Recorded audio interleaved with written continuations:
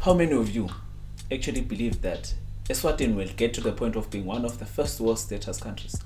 My name is Celumusa Mkhatshwa and I'm the one you want. The one you want to push you into believing that Standard Bank Eswatini has the real image of an it can be attitude to driving the whole nation into the first world status. I am an all-rounder artist. Many people know me for music. Many people know me for photography. Many people know me for TV presenting. Many people know me for many things. And I sure know that they will all know me for all the great works that I do with the youth of Eswatini.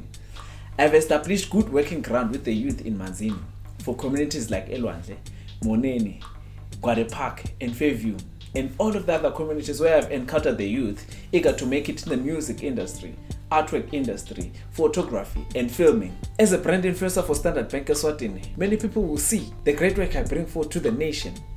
Tyler Perry will see his great impact on an African life of a black child. If I believe it, if you believe it, trust me, it can be.